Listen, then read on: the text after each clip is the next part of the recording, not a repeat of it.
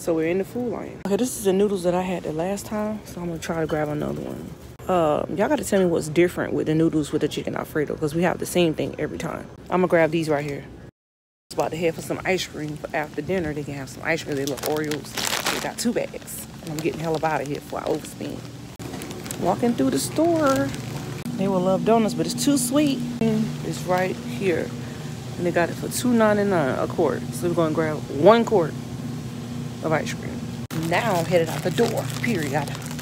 Time to go home and cook for my babies. That sun is out. I gotta head into another Dollar General since I left Food Lion and get the kids some more snacks. I had to come back over here. Whole nother ball game. Whole nother store. Kids need some snacks. Well, they want some snacks. I'm on the way home to cook right now and not get these snacks until after dinner. So let's go home and get into this live and cook.